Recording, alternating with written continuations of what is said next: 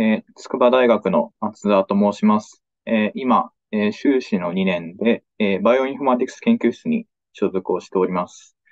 で、え、本日はこちらにありますように、え、R パッケージトモセック R の開発と Bioconductor への登録というタイトルでお話をさせていただきます。で、えー、このトモセック R なんですけども、何をするパッケージかというと、え、RNA トモグラフィーと呼ばれる過去に開発されている手法を使って、遺伝子の3次元の空間発現分布を推定するというパッケージです。で、まずはその RNA トモグラフィーと、そこで使われている実験技術であるトモセックについて、簡単にご紹介いたします。まず、トモセックについてです。こちらは、ユンカーによって2014年にセルで発表されている実験手法で、1次元の遺伝子の発現分布を得るための実験手法です。具体的にどんなことをするのかと申しますと、あるサンプルをこちらにあるように、一定方向の軸に沿って複数の凍結切片に切り分けまして、その切片ごとの遺伝子発現量を RNA-seq で取得するという実験になっています。えこれを使いますと、え例えば頭側から尾っぽ側へえスライスしたサンプルを使えば、えある遺伝子はえ頭部の方で多く発現しているだとか、えある遺伝子はえ頭部よりも尾っぽの、尾っぽに近い方でよく発現しているといった情報を得ることができます。えそして、えトモセックを発表したものと同じ論文で同時に発表されているのが、こちらの RNA トモグラフィーと呼ばれる解析技術です。えこちらは先ほどのトモセックを、え互いに垂直な3つの方向、え例えば1つ目が、え頭尾軸であれば、えもう、もう一つが、え背腹軸。で、もう一つが左右軸といった、このような、え互いに垂直な3つの方向で、え凍結切片を、えそれぞれ別のサンプルを用いて作成します。で、それを使って、それぞれ先ほどのトモセックを実行した結果を、え組み合わせて、えー、IPF アルゴリズムと呼ばれるアルゴリズムを使って、えー、3次元の発現分布を推定します。えー、このアルゴリズムというのは、えー、3次元配列のえー、3次元配列の各要素に対して、えー、こちらのトモセックで得られている周辺分布から計算される、えー、数値を掛け合わせることで、え全近的にこれらの周辺分布を満たすような3次元配列を作成するという方法です。で、こちらの RNA トモグラフィーを実行するための方法として、ユンカーの論文の中でスクリプトが、マトラボで書かれたスクリプトが公開されています。で、こちらは、ここに示しているような、トモセックデータを、3種類そして、えサンプルの形態を表すマスクデータ。えこちらは3次元配列で、えそれぞれの配列、それを3次元配列をボクセルに見立てておりまして、えある座標がサンプル内に含まれているならば、そこに1を、え含まれてないなら0を入れるといったような、え2値の3次元配列になっています。えささらに、えこちらのデータの中の、え遺伝子 ID から、え再構成した遺伝子を、え指定して入力に入れるといった形になっています。で、このスクリプトを実行しますと、えー、3次元配列として、数値データとして3次元の遺伝子発現分布が得られるといったものになっています。えー、しかしながら、このスクリプトを利用するにあたりましては、えー、いくつかハードルがありました。えまずは、スクリプトそのものが、え少々不完全であるという点です。えこのスクリプトを、え見てみますと、え定義されていない変数が途中でいきなり登場してきたりですとか、えー、定義は何かされているんだけども、ドキュメントに記載がないので、具体的にどんなものが入っているのかわからないといった変数などが、えー、存在します。えー、また、えこれは、え出力されるデータが格納されている変数なんですが、変数名がドキュメントに記載されているものと、え違っているために、えユーザーが、え混乱をする可能性が、え挙げられます。えこれらの修正するためには、えマトラプのスクリプトを読み解く能力が要求されます。えまた、え先ほど申しましたように、えこのスクリプトの出力データは、えあくまで3次元配列数値データですので、えこれらを可視化するツールがなければ、えこの結果だけを見ても、えどの部分で遺伝子が発現しているのかといったものを直感的に、え示すことができなかったり、え人間がこの結果を解釈するのには、え困難を伴うといった問題がありました。えこれらの課題を解決するために、私は、え R パッケージ、トモセック R の開発を始めました。えこのトモセック R が満たすべき要件としては、え RNA トモグラフィーを使った再構成を、えスクリプトの実行ではなく、より短いコードで、え簡単に可能にする点。また、RNA トモグラフィーによって再構成された遺伝子発現分布を可視化できるためのツール。これらを盛り込んでいることを要件としました。えー、では、えー、実際に作成した トモセック R の様子を、えー、簡単にご覧いただきます。えまず、再構成のためのコードですが、えまあ、7行目まではデータの読み込みと、えライブラリの読み込みで、え実質的な再構成のためのコードはこちらの1行の、え関数1つで済ませることができるようになりました。えまた、あ、えー、そうですね。えー、遺伝子 ID、えー、ここに GID と書いてある部分は、えー、実際には、えー、トモセトモセックデータの中に、えー、記載されている遺伝子 ID を指定します。えー、こちらはベクトルを使うことで、えー、一度に複数の遺伝子を指定することも可能です。また、え先ほどのスクリプトの中にありました、えマスクデータと呼ばれるサンプルの形を表すデータなんですが、これは、えユンカーの論文の中では、えー、ライトシート顕微鏡などを使って、えー、断面の画像を取得した後に、それらを既存のツールを使って日データに変換するという方法をとっていました。でえー、そのような方法を取った方が、えー、精度のいい、えー、携帯データは得られるんですが、まあ、それとは別に、そういったライトシート顕微鏡などなしで、えー、とりあえずの形を作るツールが何か欲しいということで、えこちらの、えマスカーと名前を付けたマスクデータの作成ツールを開発しました。えこちらは、えそれぞれの、えマスクの断面図を、えドット絵を描く要領で、え手でこのようにグリグリと書いて作成、作成することができるようになっています。えちなみにこれは、え GUI の、GUI 全体としては Shiny を使って、えこのピクセルアートの部分はえその社員に、え JavaScript のコードを、え合体させることで、え実現をしています。えそして、こちらが、えトモセック R の、え一番の目玉機能と考えています、えイメージビューアーと名付けました再構成結果を可視化するためのツールです。えこちらも Shiny で開発をしていまして、え再構成結果をまず2次元の断面図、それに加えて、3次元の立体での3次元散布図として確認することができます。こちらの青くなっている部分が発動している部分です。次に、同じデータを3次元で可視化した時の様子がこちらです。こちらプロットリーを使って3次元散布図を作成していますので、今示しておりますように、マウスを使ってえ回転ですとか、えズームイン、ズームアウトなども可能です。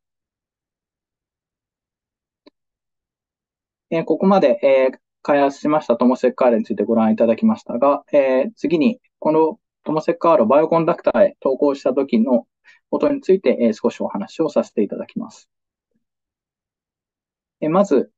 これはあの過去のパーカソンでご説明があったとは思いますが、え投稿までの流れを簡単に示しております。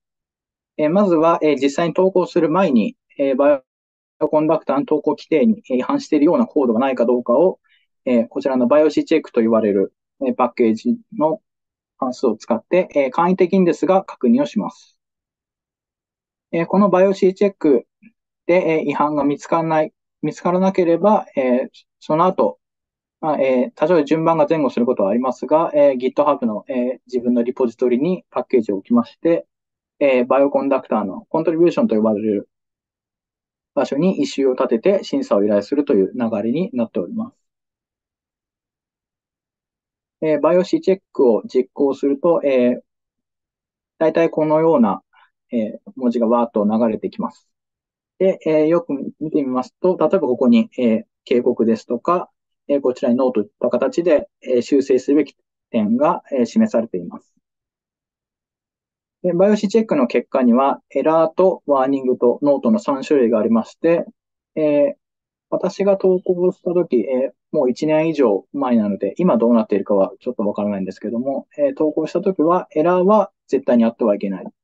で、ワーニングは、え、あってはいけないだったか、え、ない方がいいだったか、ちょっと、そこすいません、ここら辺は、うろ覚えなんですけども、で、ノートはまあ、えー、少ない方がいいといったぐらいのニュアンスであったように記憶をしております。え BiocCheck が通りましたら、えこのように GitHub にパッケージを置きます。でえこの時注意しなければいけないのは、えこちらパブリックにしておかないと、え後で審査をするときに、えコントリビュー、コントリビュート審査を受けるときにパッケージを見ていただくことができないので、え一周を立てるという段階になったら、え少なくともそこまでには、えパブリックにしておく必要があります。えそして、バイオコンダクターのコントリビューションのところに一周を立てます。えタイトルのところに、えパッケージの名前を入れて、で、ここは、えっと、ひな形を埋める、埋めれば、えこの一周が完成するようになっています。で、えここに、え先ほどパッケージを置いたリポジトリの URL を記載して、え確認事項を確認してチェックを入れるといった流れになっています。えパッケージの審査ですが、えまず、え私が、え投稿したときには、え最初にプレレビューというレビューに回す前の大まかなチェックといったものがありました。で、ここのプレレビューで特に問題がなければ本レビューへと回されます。で、え本レビューでパッケージを詳細にチェックされ、えバイオコンダクターに載せるか否かといったものが判断をされます。で、えこのプレレビューとか、えレビューの間、常に、えパッケージが更新されるたびに、えボットによって自動的に、え違反、違反エラーなどがないかどうかのチェックが行われていたようです。でえ私の場合なんですけども、えまずプレレビューで、え一つ問題を指摘されまして、えどういった問題だったかというと、えトモセックデータなどをフィグシェアにおいてそこからダウンロードするようなコードをビネットなどで使っていたんですけども、この外からデータをダウンロードするときに、あの、キャッシュを実装してください。といったことを要求されました。で、これは、えー、BioC ファイルキャッシュというパッケージがありまして、えー、それを使って実装するといった形で、えー、プレレビューを、えー、終えることができました。で、その後の本レビューなんですが、えっと、実際の本レビューの結果を右に示しているんですが、結構、かなり分量があって、やばいな、ちょっと心が折れかけたんですが、えー、まあ、えー、こう、実際に問題点だけを抜き出したものがこちらです。えー、例えば、まあ、簡単なものですと、え、R の、え、バージョン、依存バージョンを上げてください。ですとか、え、ニュースファイルには何か書いてください。え、更新情報など何か書いてくださいといったものがありました。で、え、その中でちょっと一つ、えー、僕がやらかしたなと思ったのが、え、関数の名前に、え、私間違えて、えー、一文字目も大文字のキャメル、キャメルケースを使っていたんですが、え、これがバイオコンダクターのコーディングスタイルに違反していまして、えー、一文字目が小文字の方を使ってくださいというふうに、指摘が来ました。で、これは、あのコーディングスタイルをよく読んで、間違えたりしていなければ完全に回避できた問題だったんですけども、これを間違えていたせいで、えー、ファイルを全部総ざらいして、えー、関数名を一個一個書き直すという、えー、苦行を強いられました。で、あとは、そうですね。えー、フォー文を使うのをなるべく避けてくださいといったということで、えー、 apply 関数などを使ってフォー文を、えー、ほとんど、えー、一つ除いても徹底的に避けるといった作業もありました。で、えー、これらの修正をすべて終えまして、えー、なんとか accept まで持っていくことができました。で、えー、 accept されたのが2022年の4月の18日だったんですけれども、えー、実は、えー、バイオコンダクターのバージョン3.15にパッケージが乗るための締め切りが、えー、4月の20日だったので、えー、ギリギリ2日差で3.15に入れていただくことができました。で、えこちら現在の、え現在トモセック R のページになっています。えこのように DOI も振っていただけるので、えこれだけでもバイオコンダクターに載せる価値があるかなと私は考えています。最後に今後、今後やっていきたいことなんですけども、え最高性結果がどれぐらい信頼できるかといったものを、え評価するというプロジェクトを現在進めております。えこれは、えもうパッケージも作って投稿した後で発覚した問題点なんですけども、互いに垂直な三軸を使ったトモセックデータだけでは、解が1位に定まらないような発言分布があるといったことが分かりました。でこれどういうことかと言いますとえ、こちらにえ3軸ではなく2軸で2次元の発言分布を推定する場合を載せているんですが、えこちらの山になっているものが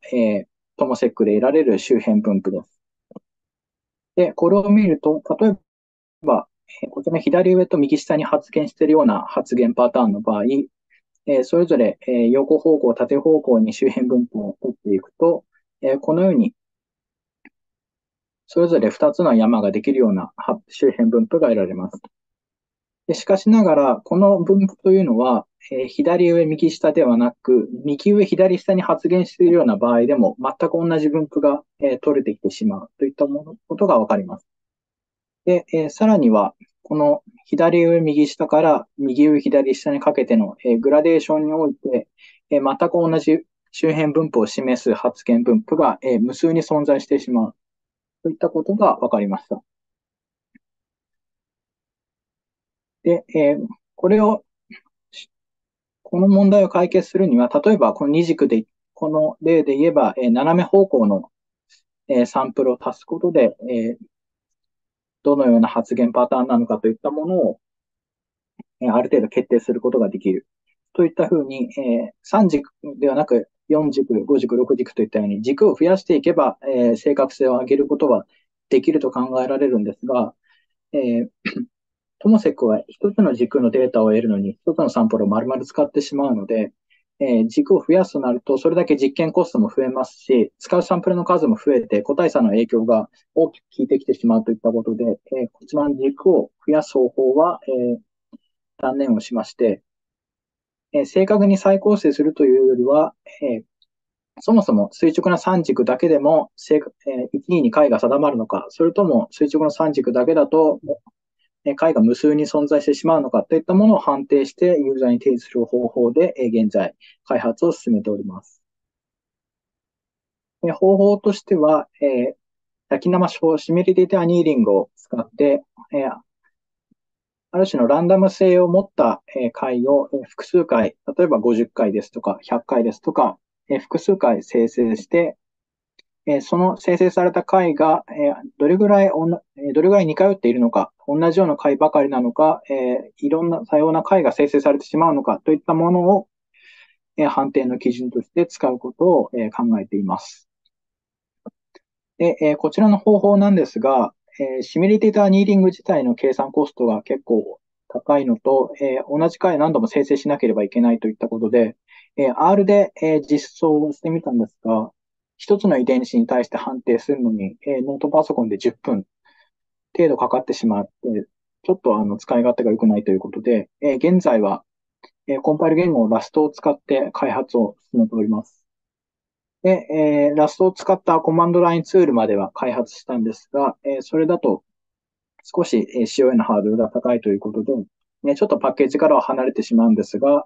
えー、バックエンドでラストを動かせらせて、えー、表側、表側で、えー、JavaScript などを使って、えー、こういった UI を作るようなタウリと呼ばれる M ワークが、あるんですが、そちらを用いて、現在、このような GUI を持ったデスクトップアプリケーションの実装を進めております。この図は、現在開発中のアプリケーションの様子なんですが、左側が、RN トモグラフィーの技術を使って再構成した結果を示していて、右側は、焼き生手法で解を多数生成したときの、座標ごとの変動係数、座標ごとに50個ですとか100個の、えー、値が生成されますので、その間の変動係数を計算して、えー、それをプロットした図になります。なので、変動係数が低い場所に関しては、えー、最高査結果がある程度信頼できるのではないかという判定ができるのではないかと考えております。えー、私の発表は、えー、以上です。ご清聴ありがとうございました。はい、ありがとうございます。何かご質問とかある方、ご意見、ご質問ある方いらっしゃいますでしょうか？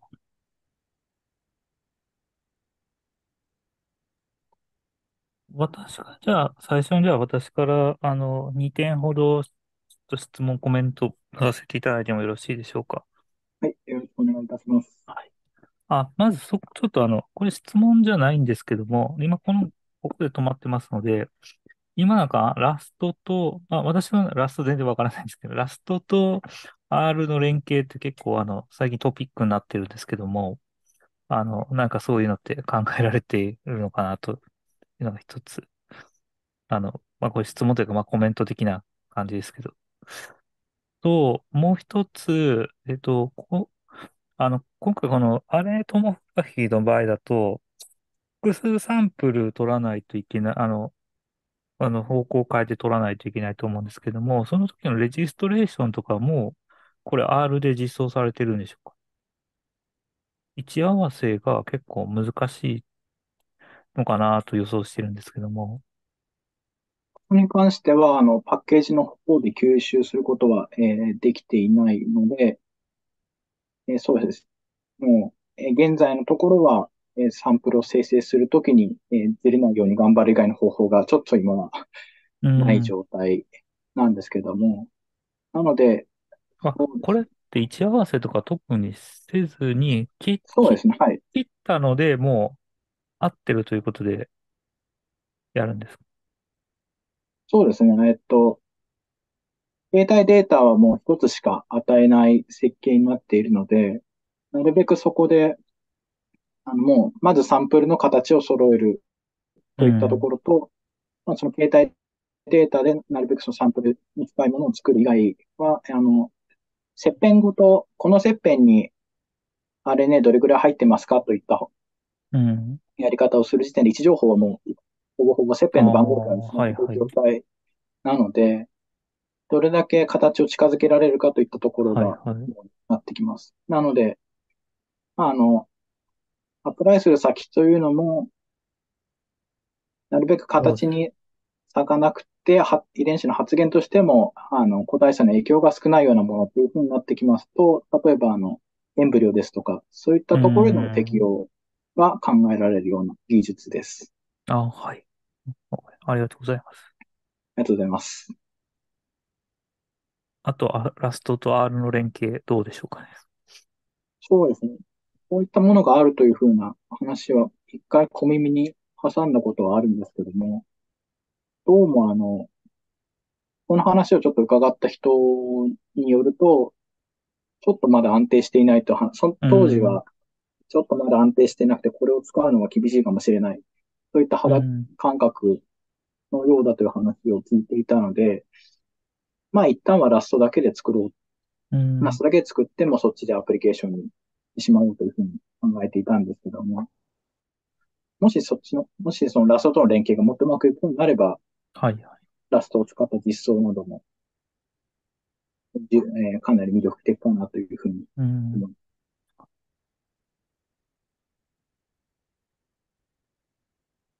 あありがとうございます。ありがとうございます。あ、あとなんか発表とはちょっと離れてしまうんですけど、そのラスト、ラストを掘り下げてあれなんです。ラストの魅力っていうのはどこなんでしょう？どこら辺なんでしょうか？最近の。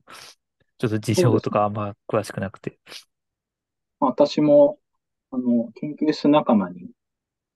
勧められて使い始めた口なんですけども、まずあの、コンパイル言語なので、R とかと比べて当然スピードが出るといったところは、え魅力の一つなんですけども、まあ、他のコンパイル言語です。例えば、R でも使われている C++ とかがあると思うんですけども、うん、ラストは設計上そちらと比べて、あの、例えば、メモリ割り当て、メモリの割り当ての管理の失敗ですとか、そういったプログラミング上のミスによって引き起こされる何か致命的な問題っていうのを、コンパイルの時点で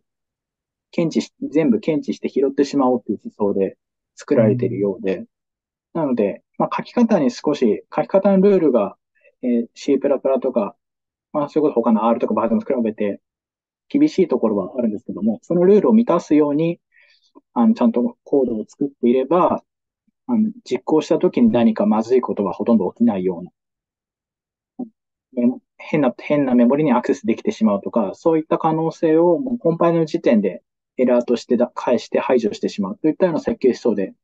作られているので、今から例えばコンパイル言語を始めたいというときは、あの、ラストにしておくと、その辺の心配せずに書けるよというのが、研究室仲間に押された時のプレゼンです。あありがとうございます。えっと、他の方から何かありますでしょうか？あ、じゃあいいですか？はい、はい、どうぞ。あ、お話ありがとうございます。あの、一次元発言分布っていう、なんか前に聞いたことはあったんですけど、今日、あの、すごくよくわかりました。えっと、I、あと IPF アルゴリズムが、すごい面白いなと思ったんですけど、なんかちょっとテンソルっぽくて、なんかいかにも僕は好きそうな感じのアルゴリズムのように見えたんですけど、これは、えっと、2次元でも3次元でも4次元でもいくらでも拡張できるようなアルゴリズムなんですかね？このように思います。えっと、まあ、多く使われているのは2次元の分割表などで多く使われているものを今回、あの、ユンカーが3次元にアレンジしたということなんですけども、えっと、大まかな流れとしては、その3次元配列のある一方向、一方向への和を計算して、それを対応する周辺分布に合うようにスケール、あの、ある一定の値をかけてスケールするといったことを繰り返す操作なので、と配列の周辺分布が計算できれば、あの、適用できる方法なので、おそらく次元は問わないんじゃないかなというふうに、今ちょっと想像した感じだと次元は問わないんじゃないかなというふうに。ほど。行列スケーリング問題とかと近いんですかね。ちょっと、このアルゴリズム初めて知ったんですけど、イタレイティブプロポーショナルフィッティングですか？はい、それです。あ、なるほど。なんか面白そうなんで、ちょっと調べてみます。ありがとうございます。あと、あの、複数、えっと、解が出てきてしまうっていうのも、なんかもうちょっと、あの、まあ、列挙するっていうのも一つの手だと思うんですけど、なんかもうちょっとモデルに何か過程を入れて良さそうなの一個、えー、選ぶみたいな方向もあるのかなと思ったんですけど、ここら辺って何か理論的な話はあるんですかね？そうですね。一度考えたのは、あの、生物の遺伝子発現なので、ある程度の対称性を仮定してもいいんじゃないかという話にはなったんですけども、うん、とまあ、私の個人的ななんか、あれとして、なんかその手のことを、を仮定して、仮定してしまうと、全く、そもそもこ発言分布の推定っていう時点でその分布が分かってないから知りたいというモチベーションでやっているところがあると思うので、あんまりそういう過程を、私自身があの、その遺伝子発現の分布とかに詳しくないせいもあって、あんまりそういう過程をおいそれと簡単に入れたくないなというような思いもあって、ちょっと今のところは、そういった過程を入れて絞ることをせずに、まあ、安定するかどうかだけを見てみようという方向で進めているではあります。ただ、ある程度の過程を入れ、過程を入れて、まあ、あの、絶対こうだとは言わないまでも、きっとこんな感じなんじゃないっていう、ある程度ふわっとしたサジェスションとして提供して、それを後でインサイチュなどで検証するといった使い方をしてもらうことも、ありなのかなというふうには考えます。ユンカー自体もあの、この方法が完全に正確な発言文法を提供するというよりは、あの、スクリーニングですとか、なんか面白い発言をしているような遺伝子を探し出して、あと確認は A 細虫とかでやってくれといったようなスタンスで、えっ、ー、と、発表をしているので、そのような使い方もいいのかなというふうにも思ったりはします。そうですね。あと、生物は結構冗長性があるので、同じような発言パターンを複数の遺伝子があの示したりすると思うので、まあ、複数の遺伝子で同時で測って、なんかそもそも出やすいエリアがあるっていうなんかバイアスを、まあ、なんかベイズの事前分布とかで入れるとか、かなとかちょっと思いました。そうですね。確かにそういったところで、うん。絞るっていうのも面白いかもしれません。ありがとうございます。ありがとうございます。面白かったです。